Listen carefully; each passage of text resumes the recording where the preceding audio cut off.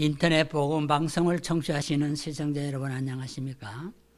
오늘은 성경 퀴즈 제 118회 단 12지파 어, 중에 하나인 단이라는 음, 단에 대해서 퀴즈로 풀어보는 시간이 되겠습니다. 제목은 하늘의 권리를 빼앗긴 지파, 단지파입니다. 아, 하나님을 보고 믿으려는 사람들은 어, 우상을 만들게 됩니다. 보이지 않는 하나님을 보이는 하나님으로 만들려고 하는 것이 우상이지요. 우상이란 인간이 만들어 놓은 보이는 신이라고 말할 수가 있죠. 보이는 신은 인간의 예술 작품에 지나지 않는다고 이사야서 40장 19절에서 기록을 했습니다. 인간의 작품이란 그 작품을 만든 예술인의 수요물입니다. 현대인들의 우상은 돈이 될 수도 있습니다. 성경은 말하기를 하나님보다 더욱 사랑하는 것이 있으면 그것이 바로 우상이 된다고 했습니다. 쾌락을 하나님보다 더 사랑하면 쾌락이 우상이 될 수가 있고요. 또 세상에 보이는 그 무엇도 하나님보다 더 사랑하면 결국 우상 숭배자가 된다는 것입니다. 골로새서 3장 5절을 보면은 이와 같이 세상 것에 대한 탐심은 곧 우상 숭배니라. 세상 것에 대한 탐심이 곧 우상 숭배라. 결국 우상 숭배는 마음에서부터 일어나는 것을 볼 수가 있습니다. 오늘 우리는 이 단지파에 대해서 어, 몇 가지를 살펴보고 퀴즈 문제를 풀어보도록 하겠습니다. 첫째 인적 사항입니다. 단은 야곱과 그의 부인 빌라 사이에서 태어난 야곱의 다섯 번째 아들입니다. 어, 단은 결국 열두 지파 중에 단 지파의 시조가 되었고요. 단이라는 뜻은 재판하는 혹은 재판관의 의미를 가지고 있습니다. 두 번째 우리는 단에 대해서 생애 주요한 사건을 어, 살펴보려고 합니다. 어, 단은 이스라엘의 우상 숭배를 도입한 지파로서 결국 종말에 구원받을 지파의 명단에서 제외됐다는 것을 우리는 기억해야 됩니다. 열두 지파에서 단 지파는 어, 제외되었다. 그 지파는 우상 승배를 이스라엘에 도입한 지파다. 이것입니다. 10계명을 보면은 1에서 3계명이 우상을 제거하라는 계명인데요. 하나님이 가장 싫어하시는 것은 우상 숭배라고 했습니다. 어, 우상 숭배자는 반드시 하나님의 심판을 받아 망하게 되어 있습니다. 단을 향한 야곱의 예언은 주전 1876년에 있었는데요. 어, 창세기 49장 16절에 보면 이스라엘 역사에서 재판관의 역할을 맡게 될 것이라고 예언을 했습니다. 그러나 49장 17절을 보면 뱀, 독사 같은 간교함으로 남을 해칠 것이라고 예언을 했습니다.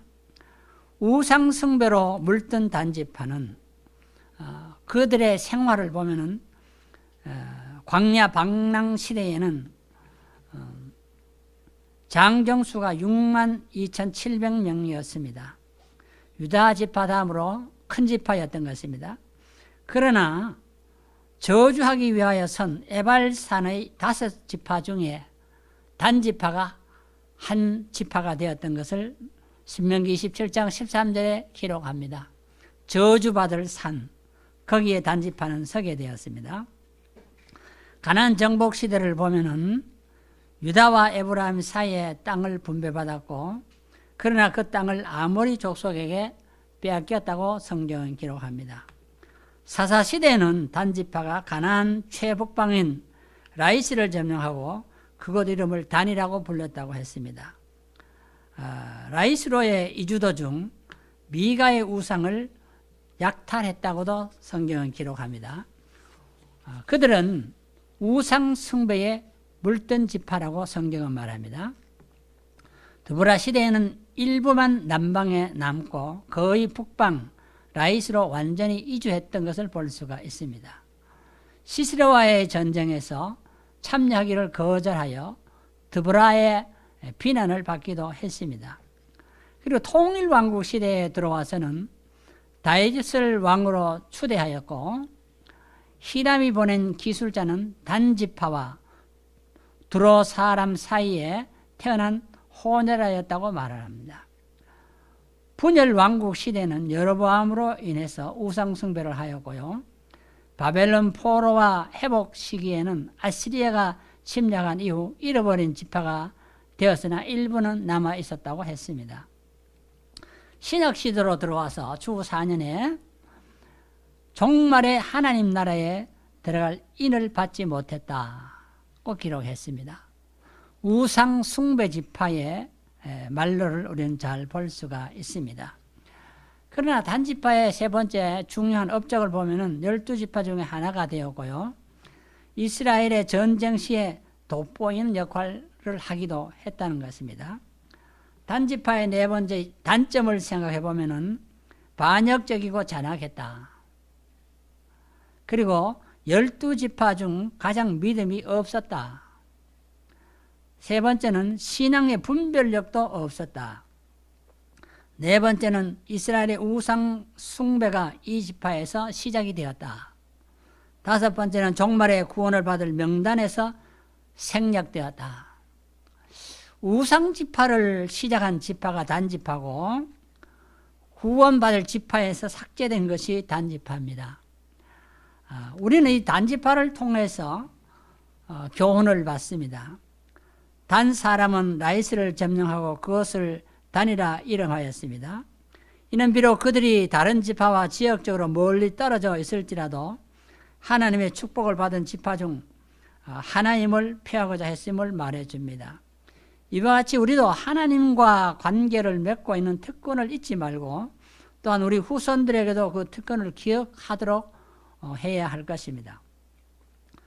아, 두 번째 우리는 단지파를 통해서 교훈을 받는 것은 단지파는 새로운 땅에 정착하자마자 그들의 모든 성공의 영광을 미가의 집에서 훔친 우상에게 돌렸다고 했습니다. 모든 영광은 하나님께 돌려야 되는데 우상에게로 돌렸다. 엄청난 어, 잘못이지요. 미가는 에브라임 산골 사람으로 어미의 은을 훔쳐 우상을 만든 사람이었다. 사사기 17장, 18장에 기록을 했습니다.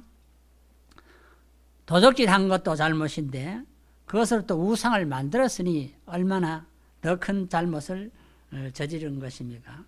그리고 계속 죄를 범하여 타락한 우상 숭배에 빠짐으로 하나님 나라에 들어갈 권리를 잃어버리게 되었다는 것을 우리는 기억해야 합니다. 즉 우리가 아, 자신의 생명, 위안, 희망, 행복 등에 지나치게 집착하여 그것으로부터 떨어지려 하지 않을 때에 바로 그것이 우리의 우상이 되어 하늘의 권리를 빼앗기게 된다.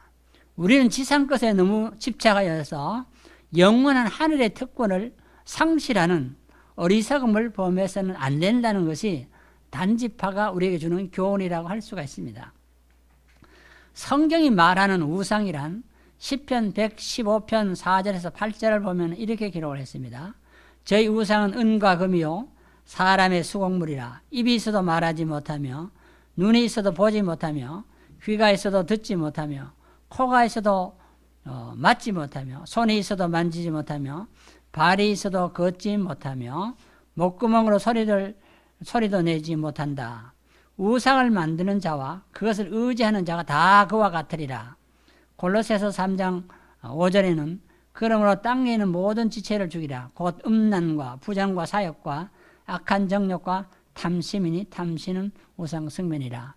우린 열두 지파 중에 단이 단지파가 우상을 이스라엘에 도입을 했고 어, 천국 명단에서 삭제된 것을 볼 때에 우상 숭배자의 죄악이 얼마나 크다는 것을 기억하고 우리는 성경 퀴즈 문제를 풀어보도록 하겠습니다. 첫째, 라헬은 왜 그의 이름을 단이라고 했나요? 했는데 창세기 30장 6절을 보면 이렇게 기록을 했습니다. 라헬이 가로되 하나님 내 억울함을 푸시려고 내 소리를 들으사 내게 아들을 주셨다 하고 이로 인하여 그 이름을 단이라고 했다. 아들을 낳지 못한 억울함을 하나님께 호소했는데 하나님께서 그 라헬의 억울함을 풀어주시려고 아들을 주셔서 그 이름을 단이라고 했다고 했습니다. 이 두 번째 퀴즈 다는 실제로 누가 낳은 아들입니까? 창세기 35장 25절에 보면은 라헬의 여종 비라의 소생이야. 첩의 소생이죠. 세 번째, 단의 아들 이름은 무엇입니까? 창세기 46장 23절에 보면은 후심이라고 했습니다. 네 번째 퀴즈는 야곱의 축복에서 나는 누구를 심판하리라고 했나요? 했는데 창세기 49장 16절을 보면은 그의 백성을 심판하리라고 했습니다. 다섯 번째 퀴즈.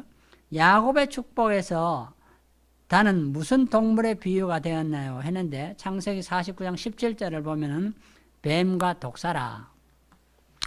인류의 조상을 유혹한 것도 뱀인데 단을 유혹한 것도 결국은 이 뱀이라. 뱀은 뱀의 유혹에 결국 단은 우상 숭배자가 된 것으로 볼 수가 있습니다.